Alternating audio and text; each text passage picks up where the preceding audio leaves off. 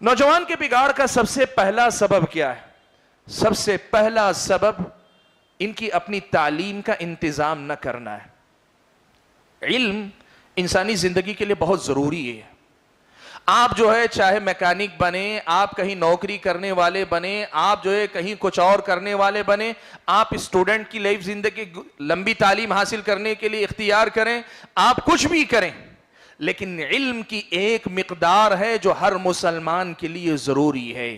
सुनने मैंने माजा की रिवायत में, जिसकी सेहत और ज़ाफ के सिलसिले में इख्तिलाफ, लेकिन अहल इल्म की एक जमात ने इसे हसन करार दिया। अल्लाह के नबी का तलबुल्म फ़रीदत कुल्ली मुस्लिम।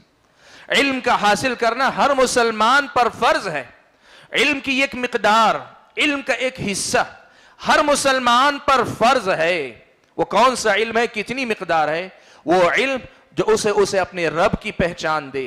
प्यारे नबी मोहम्मद सल्लल्लाहु अलैहि वसल्लम की पहचान दे।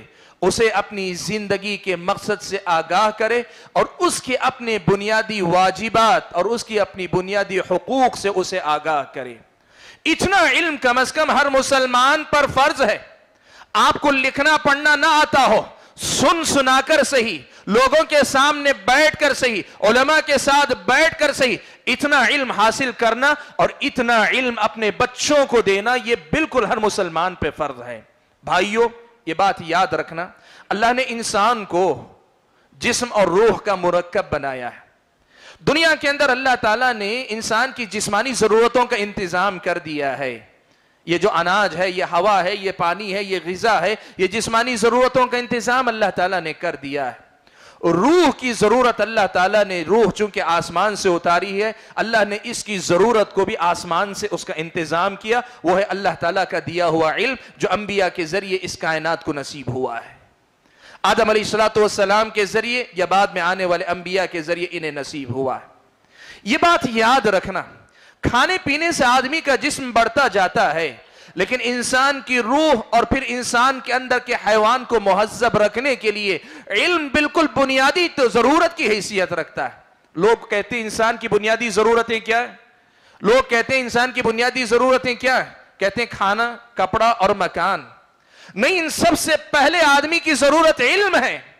इसलिए कि बगैर इल्म के आदमी के अखलाक महजब नहीं हो सकते। इंसान की जो जरूरतें, हैवानों जैसी उसकी भी जरूरतें। लेकिन इंसान को इंसान जो चीज़ बनाती है, वो इल्म है।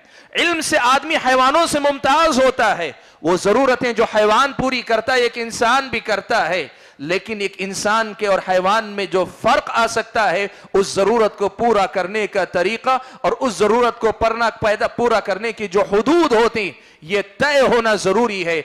और इसको तय करने के लिए अल्लाह ताला ने इल्म का इंतज़ाम किया। इल्म ज़रूरी है। मेरे भाइयों, बदकिस्मती ये है कि हमारे मुस्लिम समाज के अंदर तालीम के ताल्लुक से एक ऐसी जो है बेतवजही पाई जाती है। मैं बात नहीं कर रहा हूँ कि मुसलमान बहुत ज़्यादा तालीम याफ्ता नहीं, मैं उसकी बात नहीं कर रहा हूँ।